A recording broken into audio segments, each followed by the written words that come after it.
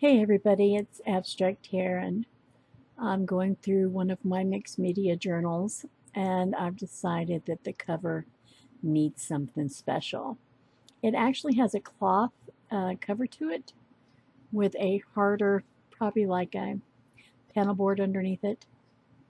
And I went through and used um, torn up pieces of uh, pages out of a book as the base with some Mod Podge, which you'll see. And I used a um, heat gun to dry it. And then I went ahead and painted it. This was taken from the live stream I had. And what I did is after the live stream, then I went ahead. The live streams uh, on my channel, you can go watch it there. It's about two and a half, two hours or so. But what I did is I went ahead and pulled it, and then I just did this video part of it, edited out all the chat and uh, as much all the chats edited out, but you'll still see, as I know, everybody's noticed I talk with my hands. So once in a while, you'll still see my hands moving around a little bit. But I just tried to cut this down for those that don't want to wait through the chat to see how all this ended up. And uh, this way you can see it in a video. At any rate, don't forget to uh, subscribe, um, like, share it, and um, don't forget at the very end are my um, pin paks that I have for sale. Um, all the descriptions to everything are in the um, description below. And all my social links, my Instagram, all that's there. And you can message me on any of them if you're interested in any of the packs. Anyway, guys, have a wonderful day, and I'll see you in the next video.